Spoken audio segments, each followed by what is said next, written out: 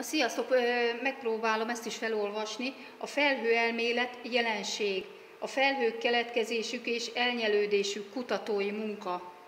Ja, bocsánat. Ja, jó, jó, jó, így. El lehet olvasni.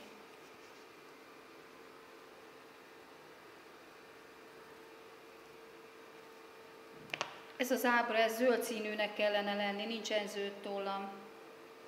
Fluoroplastis. Második.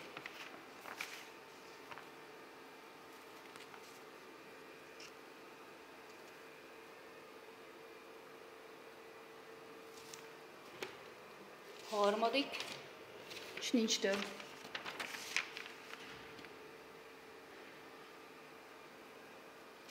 Itt az én nevem, itt az adatom, mert tömegnevem van. Hol van a dátum? Itt a dátum, ott a dátum. Csak két kezem van, gyorsan felolvasom. Felhőelmélet jelenség és, tehát a felhőelmélet jelenség, a felhők keletkezésük és elnyelődésük kutatói munka.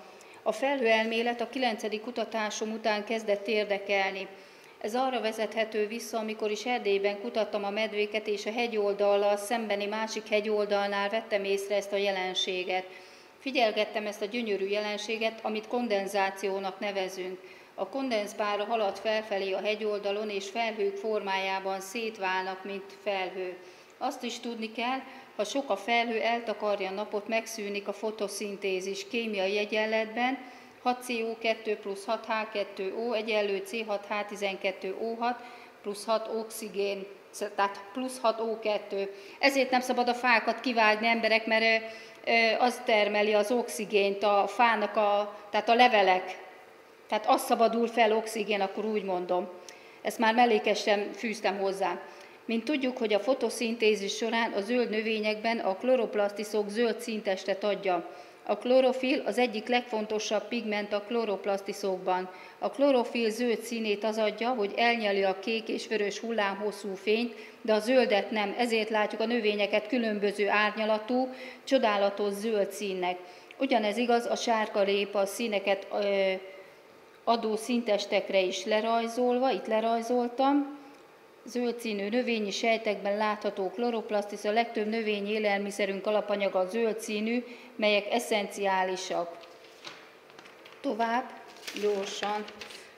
Megfigyeltem azt is, hogy ha az egyik felhő áll, addig a másik mozgásban van, és mint puzzle játék illeszkedik az álló felhő a mozgásban lévő felhők kontúrjaihoz. Figyeljék csak meg emberek ezt a jelenséget is, aminek szerintem valamiféle jelentősége van. Azt még egyelőre nem tudom. Hát az esőnek a, az elő, mm, hogy mondják ezt, elő, előjele, a, a kontúrok, tehát a puzzle játék ö, ö, féle, tehát a felhőknek a puzzle játék ö, ö, kontúrjai, ahogy, ahogy összeilleszkednek a felhők. A felhő képződését, ezt már mellékesen fűztem hozzá, a felhő képződését Erdélyben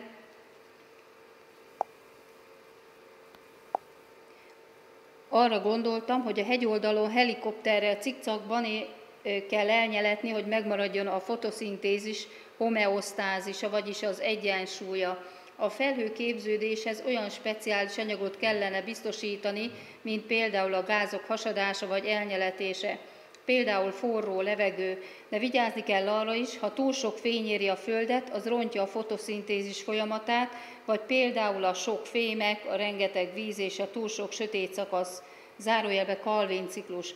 A gyönyörű fotoszintézis akkor történik a legszebben, ha körülbelül 28-30 fok van, nincs füllett idő, a hosszabban elnyúlódó napsütéses órák száma. Tehát ez vizsganyag volt a fotoszintézis, mikor a legszebb, 28-30 fokba